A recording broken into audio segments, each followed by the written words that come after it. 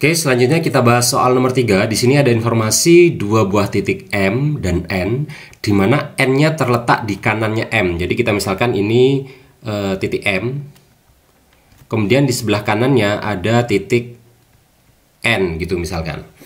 Nah, kita tinjau sebuah partikel A yang bergerak dari M dengan kecepatan awal 18 meter per sekon ke kanan. Jadi di sini ada partikel partikel A dia bergerak dengan kecepatan awal sebesar 18 meter per sekon ke arah kanan, tapi percepatannya adalah 2 meter per sekon ke arah kiri. Berarti percepatannya A adalah 2 meter per sekon kuadrat ke arah kiri.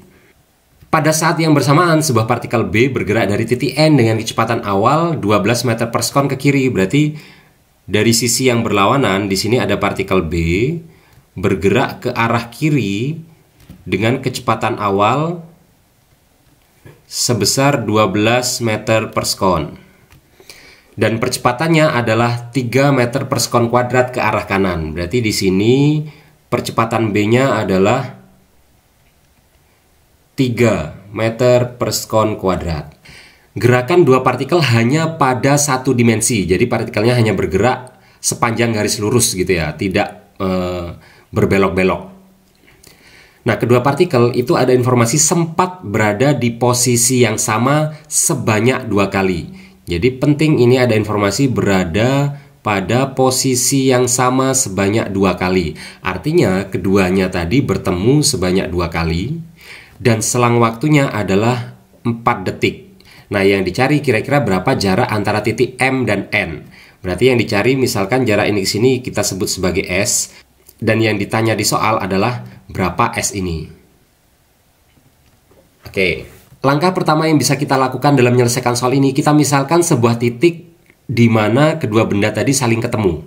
Jadi misalkan ini titik temu keduanya, maka ini ke sini bisa kita sebut sebagai SA atau jarak yang ditempuh oleh A Sedangkan ini sini kita bisa sebut sebagai SB atau jarak yang ditempuh oleh B pada saat ketemu dengan A. Nah, dari gambar ini kan kita bisa lihat bahwa SA ini ke sini ditambah SB ini ke sini adalah jarak antara M dan N.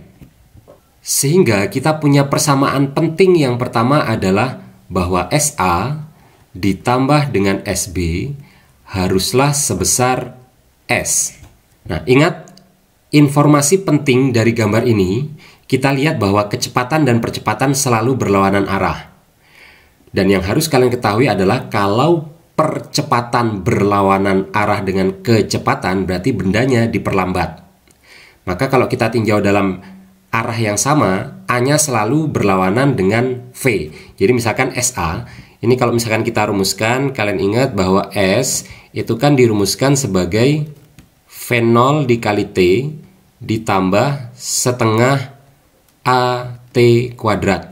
Nah, di sini kecepatan dan percepatan selalu berlawanan arah, sehingga nanti tanda positif negatif antara V dan A-nya kita buat harus berlawanan. Sehingga dari sini kita peroleh bahwa SA-nya adalah V A0 dikali T ditambah setengah A-nya A dikali T kuadrat ditambah lagi dengan yang SB-nya berarti VB0 dikali T ditambah setengah A-nya B. Ini A-nya A besar ya. A-nya B dikali dengan T kuadrat sama dengan S. Nah sekarang kita masukkan eh, angka-angkanya. Jadi kalau misalnya kita misalkan kecepatannya itu bertanda positif Berarti percepatannya harus kita buat bertanda negatif. Begitupun sebaliknya.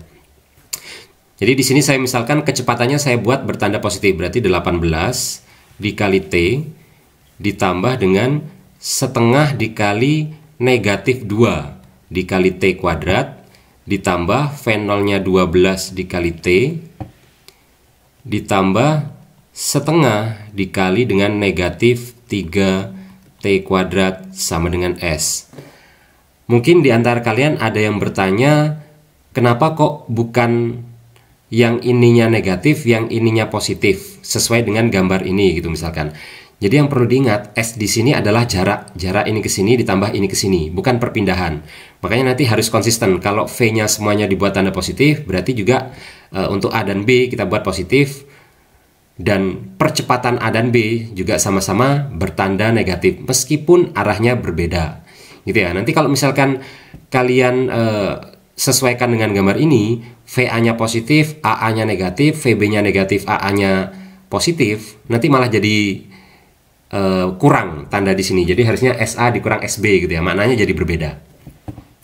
Oke, lanjut kita sederhanakan ini berarti bisa kita sederhanakan 18 dengan 12T dapat 30T. Ini dengan ini kita sederhanakan berarti dapat negatif 5 per 2 T kuadrat sama dengan S. Nah, dari persamaan ini, agar terlihat lebih mudah untuk diselesaikan, ini bentuknya sudah terlihat seperti persamaan kuadrat, dan persamaan kuadrat itu biasanya secara umum pangkat tertingginya diletakkan di depan. Jadi misalkan ini kita pindah ke kanan, ini juga pindah ke kanan, berarti dapat positif 5 per 2 T kuadrat dikurang dengan 30T ditambah dengan S sama dengan 0. Nah, di sini yang akan kita cari adalah berapa S-nya. Tapi untuk mencari S, kita butuh berapa besar T. Nah, di soal itu terdapat informasi bahwa keduanya bertemu sebanyak dua kali. Karena dia bertemu sebanyak dua kali, maka nanti nilai T-nya ini pasti ada dua, yaitu T1 dan T2. Sehingga kita cari terlebih dahulu bagaimana hubungan antara T1 dan T2. Oke, dari persamaan ini kita bisa selesaikan bahwa nilai T-nya adalah min B plus minus akar B kuadrat min 4AC per 2A. Dari sini kita dapat harga B-nya adalah min 30 atau agar persamaan ini jadi lebih mudah untuk diselesaikan, ini kedua ruas kita kalikan dengan 2 sehingga nanti menjadi 5 T kuadrat min 60T ditambah 2 kali S sama dengan 0. Gitu ya, berarti min B-nya adalah min 60 karena ketemu negatif ketemu negatif berarti ini saya tuliskan langsung positif plus minus akar B kuadrat berarti min 60 kuadrat dikurang 4 dikali A-nya adalah 5 dikali C-nya adalah 2S dibagi dengan 2 kali A. Berarti ini sama dengan 60 plus minus akar 3600 dikurang 40S per 10. Nah, dari persamaan ini nanti kita dapat bahwa harga T1 dan T2 itu kita misalkan masing-masing untuk T1 kita anggap berlaku untuk tanda positif, T2 berlaku untuk tanda negatif. Berarti dari sini nilai T1-nya adalah 60 ditambah dengan akar 3600 dikurang 40S dibagi dengan 10. Sedangkan untuk T2 karena berlakunya untuk yang tanda negatif berarti kita buat T2-nya adalah 60 dikurang dengan akar 3600 dikurang dengan 40S dibagi 10. Nah, ini adalah waktu pertama dan waktu kedua pada saat keduanya bertemu. Atau mungkin yang bisa kita ceritakan kira-kira yang mana yang lebih awal gitu ya. Oke, kalau misalkan tandanya positif, maka nanti 60 ditambah sesuatu hasilnya pasti besar. Sementara ini hasilnya pasti lebih kecil. Berarti ini mungkin bisa kita balik bahwa pertama kali benda bertemu itu adalah yang ini. Jadi ini kita misalkan T1 ini T2, kita balik. Kenapa kok dibalik? Karena harga T yang ini yang di bawah ini harusnya lebih kecil karena tandanya, tandanya dikurang. Sementara yang di atas waktunya nanti akan lebih besar. Kenapa? Karena tandanya adalah positif atau tanda penjumlahan. Berarti ini waktu kedua pada saat keduanya bertemu ini adalah waktu pertama ketika keduanya bertemu. Nah, di soal tadi ada informasi bahwa selisih waktu ketika keduanya bertemu adalah 4 4 detik. Berarti nanti selisih waktu yang dimaksud adalah yang T2 dikurang T1. Gitu ya. Karena namanya selisih kan harus selisih waktu harus positif ya.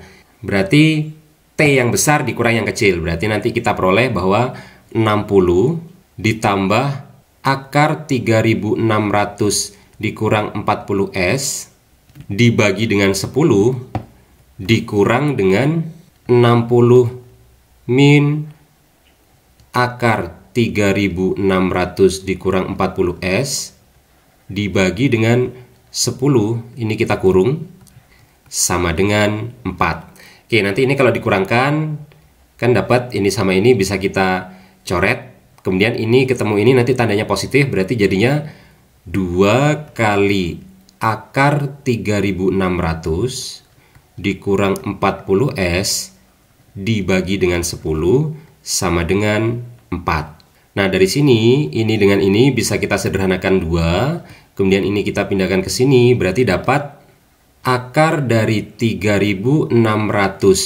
dikurang 40S sama dengan 20. Dari sini, agar akarnya hilang, kita kuadratkan kedua ruas, berarti 3600 dikurang 40S sama dengan 400.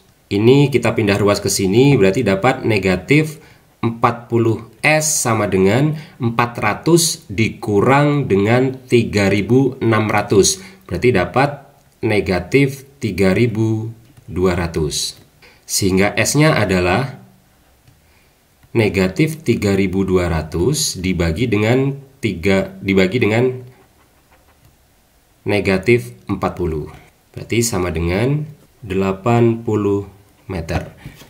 Jadi jawaban untuk soal ini jarak antara titik M dan N adalah 80 meter sehingga jawabannya adalah 80,0. Ingat harus satu angka setelah koma. Jadi harus ada 80,0. Kalau ini dijawab 80 saja tanpa ada koma nolnya maka tetap terhitung salah. Oke, sampai ketemu lagi di soal berikutnya.